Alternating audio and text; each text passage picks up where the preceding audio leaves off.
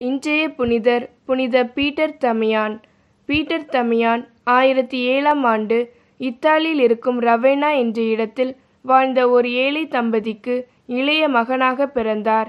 பெற்றோர் இவருக்கு இட்ட பெயர் பீட்டர் என்பதுதான். பின்னாளில் தன்னுடைய மூத்த சகோதரரும் குருவாகவும் இருந்த தமியான் என்பவர் மீது கொண்டிருந்த மதிப்பினால் பெற்றோர் இட்ட பீட்டர் என்ற பெயரோடு தமியான் என்ற பெயரையும் சேர்த்து கொண்டு தன்னுடைய பெயரை பீட்டர் தமியான் என மாற்றிக்கொண்டார். பீட்டர் சிறு வயதிலேயே பெற்றோரை இழந்தார். இதனால் இவர் தன்னுடைய இளைய சகோதரரின் கண்காணிப்பில் வளர்ந்தார். இந்த சகோதரர் மிகவும் கண்டிப்பானவர். அதே நேரத்தில் பீட்டரை சரியாக கவனிப்பதும் கிடையாது. தான் வைத்திருந்த பஞ்சிகளை மேய்ப்பதற்கு தான் இவர் பீட்டரை அனுப்பி வைத்தார். இந்த நேரத்தில் பீட்டர் மிகவும் கஷ்டப்பட்டார்.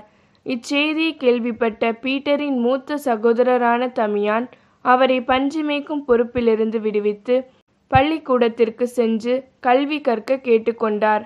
அதற்கான செலவினங்கள் அனைத்தையும் தான் நேர்ப்பதாக உறுதி தந்தார். இவர் ஒரு குருவானவர். பின்னாளில் பீட்டர் நன்றாக படித்து ஒரு பேராசிரியராக உயரும் வரைக்கும் இவர் பீட்டருக்கு பேருதவியாக இருந்தார். அதனால்தான் இவர் தன்னுடைய சகோதரனின் பெயரையும் தன்னுடைய பெயரோடு சேர்த்து கொண்டு பீட்டர் தமியான் என தன்னுடைய பெயரை மாற்றிக்கொண்டார் பீட்டர் தமியான் பேராசிரியராக மாறிய பிறகு தன்னிடம் கல்வி கற்ற மாணவர்களுக்கு மிக சிறப்பான கல்வியை வழங்கினார். இயல்பிலேயே ஞானமும் அறிவும் கொண்டவரான பீட்டர் தமியானின் வகுப்புகளுக்காக மாணவர்கள் தவம் கிடப்பார்கள். அந்த அளவுக்கு இவர் சிறப்பாக பாடங்களை நடத்தி வந்தார். இத்தகைய தருணத்தில்தான் தூய ஆசிர்வாதப்பர் சபையை சார்ந்த துறவிகள் இவரை வந்து சந்தித்து இவருக்கு கிறிஸ்துவை பற்றியும் துறவு வாழ்க்கை குறித்தும் எடுத்துரைத்தார். இவற்றால் ஈர்க்கப்பட்ட பீட்டர் தமையான் எல்லாவற்றையும் துறந்து புனித ஆசிர்வாதப்பர் சபையில் துறவியாக மாறினார். புனித பீட்டர் தமையான் ஒரு சீர்திருத்த டொமினிக்கன் துறவியும் திருத்தந்தை ஒன்பதாம் லியோ காலத்தில் ரோமின் புறநகரின் ஓஸ்தி மறைமாவட்ட கர்தினால் ஆயரும் ஆவார்.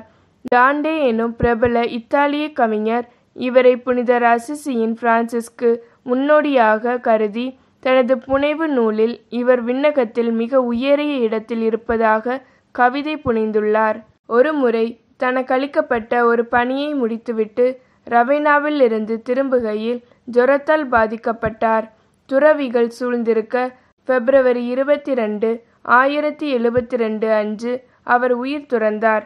இவரை கத்தோலிக்க திருச்சபையின் மறை வல்லுனர் என திருத்தந்தை பன்னிரெண்டாம் லியோ ஆயிரத்தி எண்ணூற்றி இருபத்தி மூன்றாம் ஆண்டில் அறிவித்தார்.